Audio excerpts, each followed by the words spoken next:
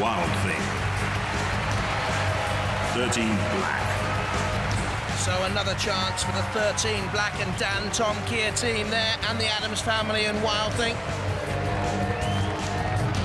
Roboteers, stand by. In the arena for the House Robots, Sir Killalot.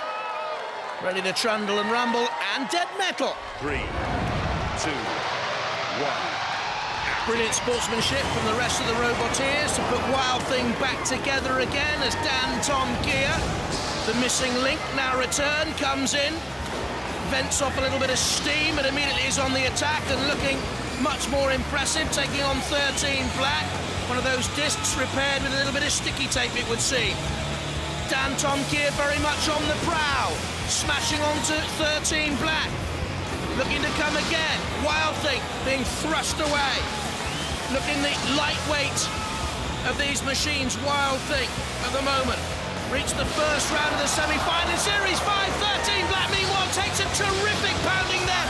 And Wild Thing, they're being crumpled and munched by dead metal.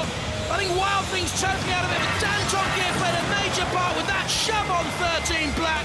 Then the flick, down it came with a crunch. Wild Thing then drove itself onto the flipper of Dantomkia, and in came Metal, and the sparks flew. The blade is turning, but there's no one at home, Wild Thing. 13 Black, I think, is at its end as well. Dan Tonkier trying to... Oh! Wild Thing is driven straight into the bit. Dan Tonkier just pressed the release button. Isabel Adams have gone out at the semi-final stage of Robot Wars for the fourth time. 13 Black, surely to...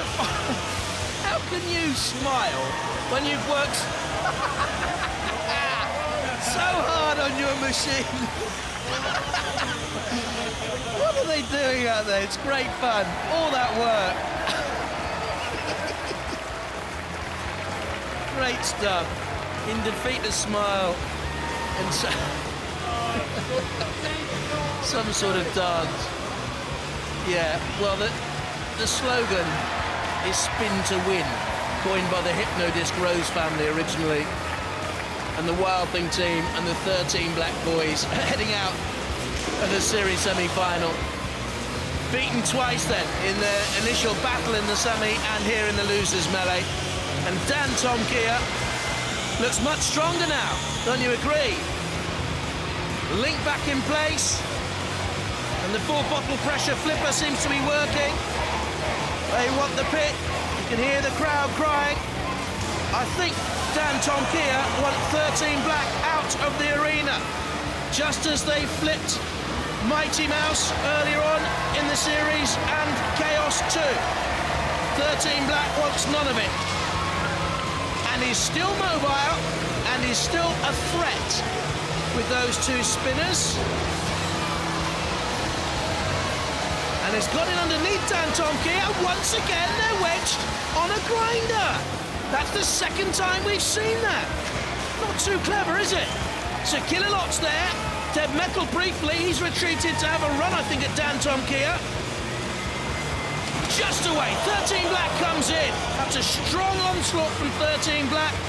When it crosses the arena like that, it's travelling at 20 miles an hour, but he's just left himself broadside on for a Dantomkia shove, and 13 Black goes over yet again. And we've seen, though they claim they're invertible, they can run upside down, it's hardly quick progress. Dantomkia, one or two shoves more. Six. It's going to go to the judges, this. I don't think they'll have too much work to do to decide the winner.